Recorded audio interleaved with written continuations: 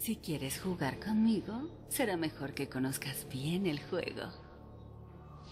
Los altares están desbloqueados.